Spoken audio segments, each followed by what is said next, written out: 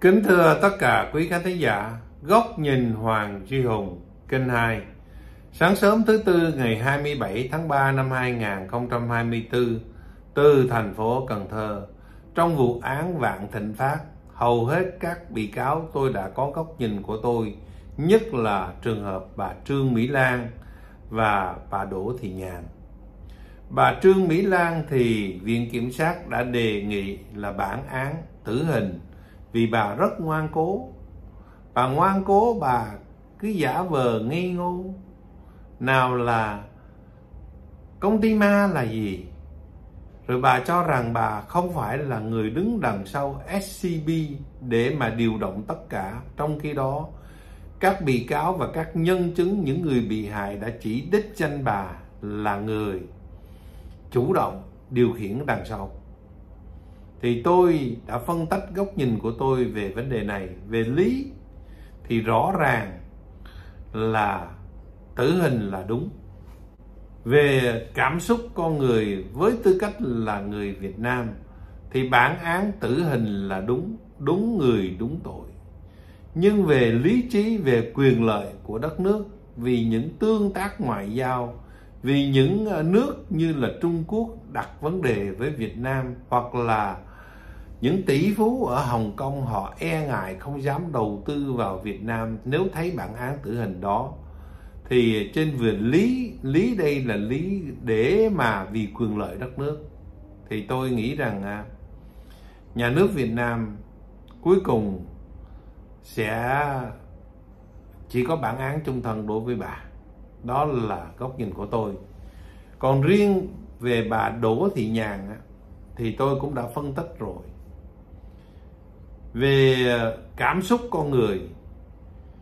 Với sự ngoan cố của bà giả vờ nói rằng là bà sợ sự trả thù của SCB nên bà nhận 5 triệu 2 Mỹ Kim về. Bà phân nhỏ ra. Bà làm y như ờ, tòa án là con nít để bà lừa vậy đó. Và Viện Kiểm sát cũng đã đề nghị bản án chung thân cho bà thì tôi cũng đã phân tích rồi. Trên phương diện về cảm xúc con người, thì à, tôi muốn bà có một bản án, đó là bản án tử hình. Nhưng trên phương diện về luật pháp, bà đã chung đủ lại 5 triệu 2 Mỹ Kim, tức là bà đã khắc phục hậu quả 100%. Luật pháp của Mỹ cũng như những nước khác, khi người ta đã khắc phục hậu quả rồi, thì không thể nào mà có bản án tử hình được nên trên phương diện về lý, thì bản án chung thân đối với bà Đỗ Thị Nhàn là đúng. Tôi đã phân tích góc nhìn đó trong những clip trước. Hôm nay tôi muốn nói về vấn đề ông Nguyễn Cao Trí là chủ tịch tập đoàn Capella. Theo như Viện Kiểm sát thì ông đã lạm dụng tín nhiệm để chiếm đoạt tài sản 1.000 tỷ của bên phía SCB. Và ông đã khắc phục hậu quả hoàn toàn. 100%. Viện Kiểm sát đề nghị 10, 11 năm tù đối với ông Nguyễn Cao Trí. Ông Nguyễn Cao Trí 54 tuổi, ông cho rằng đề nghị mức án như vậy đối với ông là rất bất ngờ và rất là nặng vì ông đã khắc phục hậu quả hoàn toàn và hoàn cảnh của ông thì khác với những người ở Vạn Thịnh Phát. Ông cho rằng ông không có dính líu gì đến với những người ở Vạn Thịnh Phát lừa đảo chiếm đoạt tài sản. Có người là cả hàng mấy chục ngàn tỷ tiền Việt Nam. Còn ông qua luật sư của ông trình bày trước tòa. Trường hợp của ông khác biệt đó là sau khi bà Trương Mỹ Lan bị bắt, ông e ngại là có thể dính líu đến các công ty mà do ông điều hành. Trước đó bà Trương Mỹ Lan đã ký những thỏa thuận với các công ty đó thì ông ờ, muốn là xóa vết tích với những sự thỏa thuận với bà Trương Mỹ Lan để khỏi bị trách nhiệm. Nên ông đã chỉ đạo các nhân viên của ông làm những sổ sách nó không còn có vết tích với bà Trương Mỹ Lan. Nhưng ông nói lúc đó ông làm, ông nghĩ rằng à, sau này có chuyện gì đó ông sẽ thương thảo và trả lại cho công ty SCB. Số tiền đó không phải là một nghìn tỷ mà chỉ khoảng chừng có 800 mấy chục tỷ thôi. Và ông đã thỏa thuận với viện kiểm sát ông trả lại đủ 1.000 tỷ. Cho thấy ông trả không những tiền gốc mà cả tiền lời luôn. Về ý định intention á, để mà lừa gạt thì ông cho rằng ông không có, vì ông là sợ sợ bị liên đới nên mới có hành vi lúng túng như thế. Dẫu vậy, trước tòa, ông vẫn khai đó là ông không có than phiền. Ông nói một câu, đúng sai gì? Ông cũng nhận hết, nhận kết quả từ bên phía phán quyết của tòa. Ông mong rằng là tòa, hội đồng xét xử, cứu xét tất cả những chi tiết mà ông trình bày hơn nữa đó trong quá khứ đó, chính ông đã cung cấp tất cả những điều đó cho công an với cả một sự thành tâm để mà công an biết rất rõ và ông cũng đã từng làm những việc thiện nhất là trong thời kỳ Covid-19. Ông cũng được rất nhiều người viết thư xin tòa án xét xử một cách nhân đạo hơn đối với ông. Thì chúng ta thấy à, cũng không lâu trước đó ở tại tòa án Hà Nội Hội đồng xét xử đã xử rất nhẹ đối với uh, vụ án Tân Hoàng Minh. Vì uh, các bị cáo đã khắc phục hậu quả hoàn toàn 100% và cũng đã có những công trạng và đặc biệt là hơn 1.400 doanh nhân đã viết thư gửi đến tòa án xin tòa án xử nhẹ. Thì trong trường hợp của ông Nguyễn Cao Trí ông cũng có những người gửi thư cho tòa án xin xử nhẹ. Ông cho rằng à, là ông à, phạm tội trong lúc bối rối, chứ không phải là có chủ ý ngay từ lúc đầu. Initially là ngay từ lúc đầu, á. Intent, tức là cái ý nghĩ của ông để lừa gạt, chiếm đoạt tài sản của bà Trương Mỹ Lan của SCB á, thì đó không phải là hoàn toàn, mà đó chỉ là tính cách là lúng túng muốn uh, trốn tránh trách nhiệm cho các công ty có liên đới với bà Trương Mỹ Lan. Đó là thông tin tôi xin gửi đến quý khán giả góc nhìn của tôi về vấn đề này. Sự trình bày của ông Nguyễn Cao Trí, tôi cho rằng ông có lý. Ông ờ, đã thành thật khai báo với công an tất cả ngọn nguồn. Thứ nhất, thứ hai đó là ông đã khắc phục hậu quả không những 100% mà còn trên 100%. 110% cả gốc lẫn lời. Thứ ba đó, đó là ông được nhiều người, các doanh nhân viết thư gửi đến tòa xin xét xử khoan hồng đối với ông nhẹ hơn nữa đi. Thứ tư, ông còn đang điều hành các công ty đóng góp xây dựng đất nước và trong quá khứ ông đã đóng góp xây dựng đất nước rất là nhiều.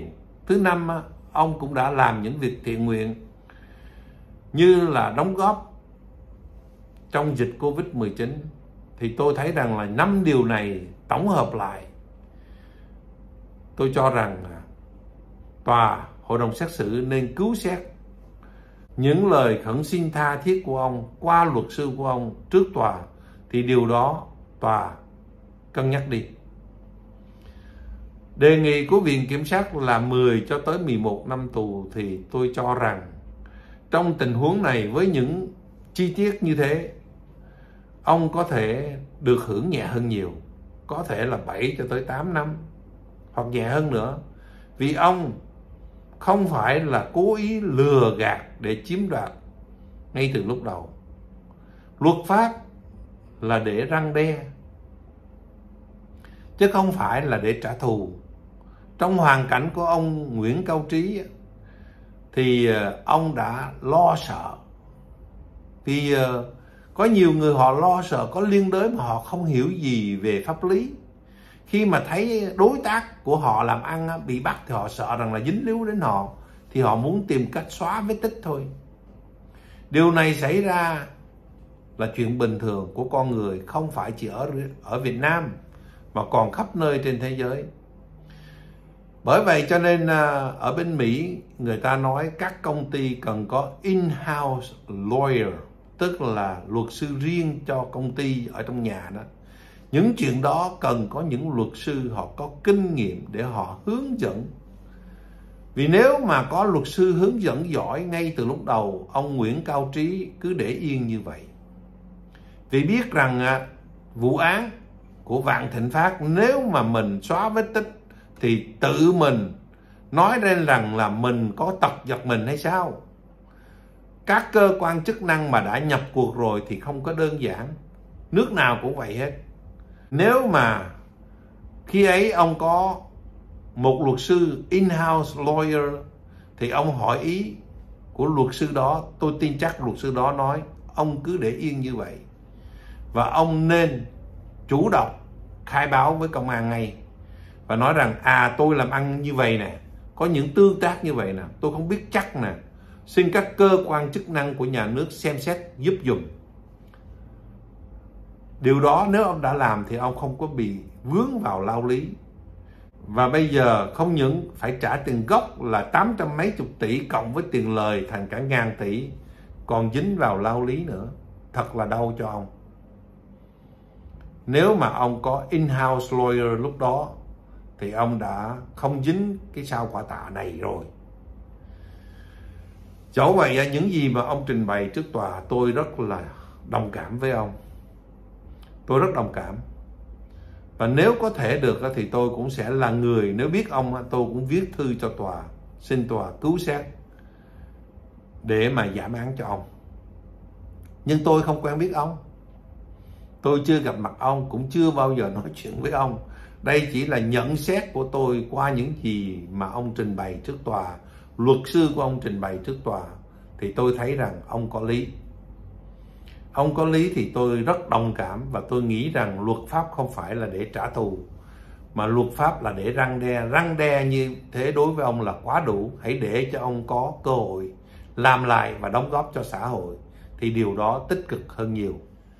Ở bên mỹ, người ta còn cho phép những bị cáo như vậy đóng tiền thay cho những ngày tù. Thí dụ, quy tiền ra mỗi một ngày ở tù là một triệu tiền Việt Nam đi. Thí dụ vậy.